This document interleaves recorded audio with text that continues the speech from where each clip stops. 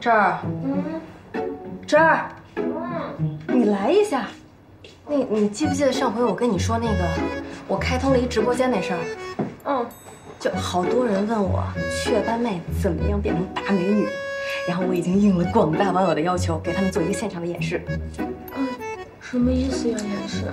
呃，就是需要你配合我一下。我也要上镜啊？嗯，就是把你变飘飘啊。就把你脸上的雀斑全都弄没。嗯，不行，我上镜不好看。哎呦，求求你了，拜托你去帮我这么一次，我都答应人家了，人家点名道姓说要看你。大家都说要看我呀。嗯。哎呦，快快快快快，别犹豫了，赶紧。好吧。等会儿我先把它点开。没事，你你把那个头发往后弄一下。已经进去了吗？对对对对对，进去了。啊，Hello，大家好，大家好。不用多久，我相信一定会有别的杂志或者媒体也想到这一点，开始访问起这些网络上的红人、主播，还有一些博主。这一次，我们做点不一样的主打吧。什么不一样的？一直以来，我们主打专访的重心，都放在名人、明星、社会话题。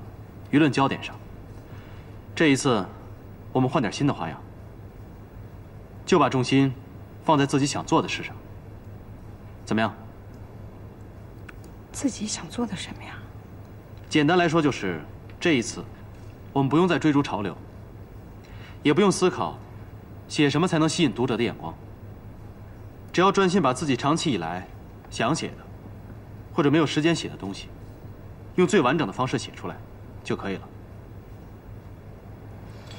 所以意思就是，这次我们想写什么就写什么。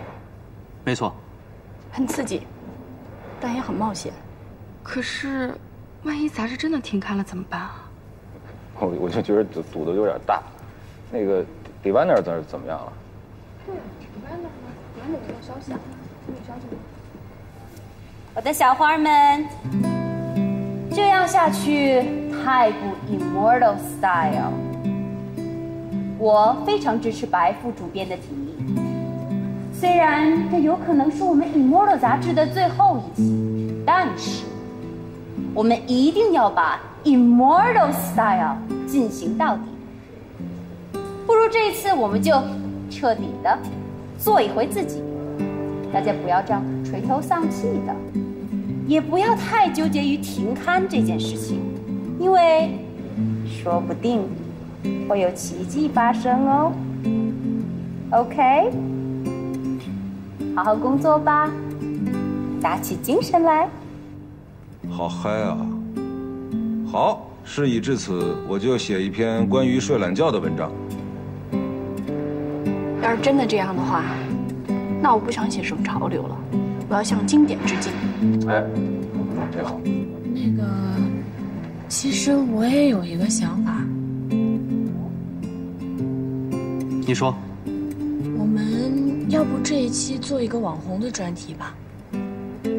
因为网红他是一个特别的群体，而且重点就是网红现在真的特别红。如果我们能够在别家杂志先报道之前。抢先一步，那不是快人一步吗？大家觉得怎么样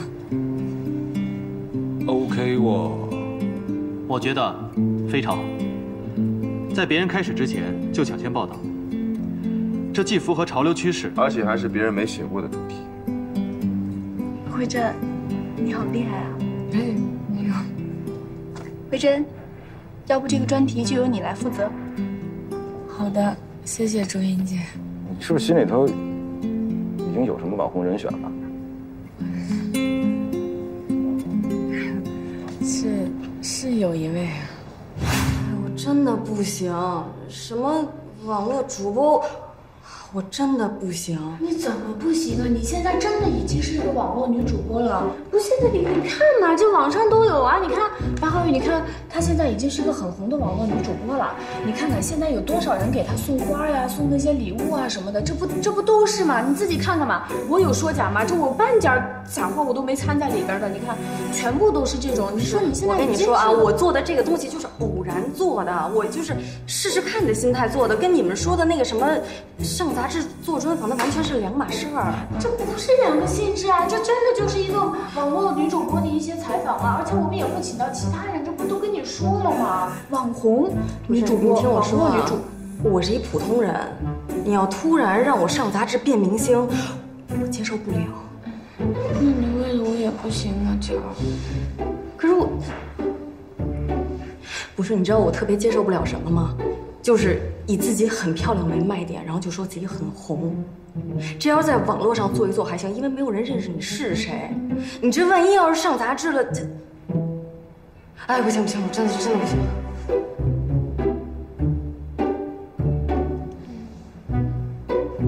白浩宇，你说我是不是不适合？其实，你很适合。你看嘛，大家都很认可你啊，所有人都这么想啊。而且我们在这个节骨眼上介入，就像那种特别红的网红女主播的养成记。那读者肯定看完之后就会想说，哎，一个普通的漂亮姑娘如何成为网红啊？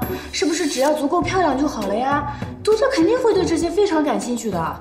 而且这一块内容还没有被深挖做。嗯，而且乔，你是我特别好的朋友，所以他绝对不会强迫你。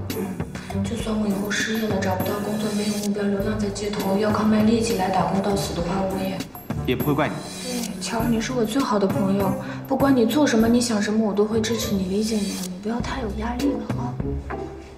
哎，我说你们两个一起逼我是吧？白浩宇，我以前怎么没看出来你这脸皮这么厚呢？啊，还有你，你别笑，你跟着他都学坏了。乔，那你是答应还是不答应？啊，乔，反正我都得靠你养活了，我能眼睁睁的看着你喝西北风吗？不过咱先说好了，我的出场费可是很贵的。那得了，来，两个手，还有一只手，嘿。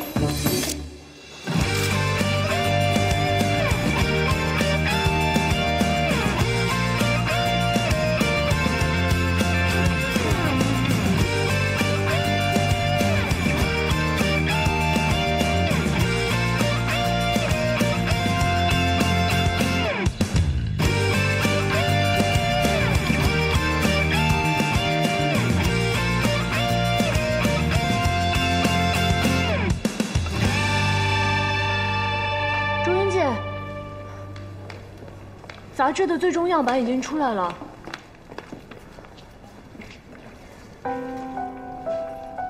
把这些拿去印刷之后，这一切就真的结束了吧？雨梦都不会消失的，雨梦都一定不会消失。说什么呢？事情没到最后一步，谁知道会不会有惊天大逆转？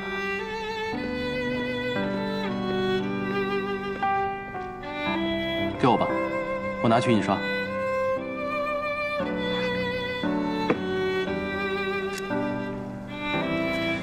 这几天大家都辛苦了，回去休息一下吧。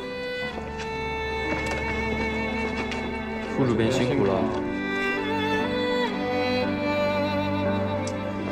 们都干嘛垂头丧气的？来来来，打起精神来，工作工作。我的小花们，大家这都是怎么了？主编，Immortal 是不是以后真的就没有了？该来的走不了，该走的也留不住，所以静静的等待，时间会告诉我们一切。放轻松。